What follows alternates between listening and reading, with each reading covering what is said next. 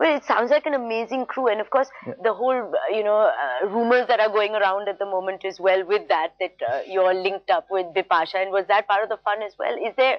Are you going out with her? Is there any no, relationship? No, no, not at all, not at all. Uh, Bipasha is actually someone uh, I've never met before the film, but uh, she's extremely. Actually, in fact, Bipasha, AB, Rohan, all of them, they know I'm from an industry which is somewhere else. I do films somewhere else, and they all made that little extra effort to kind of make me feel comfortable and all of that, and I give it give full credit to them. And yes, yeah, I'm, not even. So where are these rumors coming from? Was there like some kind I of think- because it's the I think- chemistry on screen that's like translating well, off screen, well, that's or a good thing.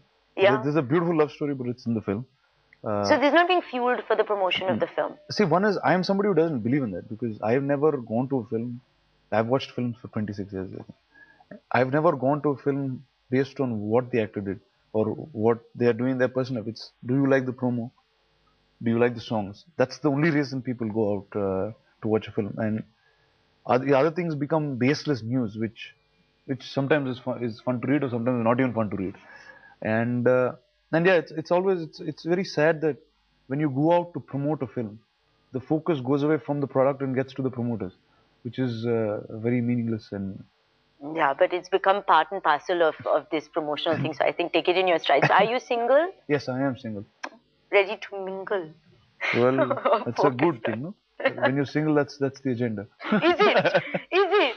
So Shreya sir, no relationship with Not at all. Shreya is actually the only one of the few friends I had in Bombay because uh, when uh, Shreya started working in uh, in Telugu, that I was a line producer on that film.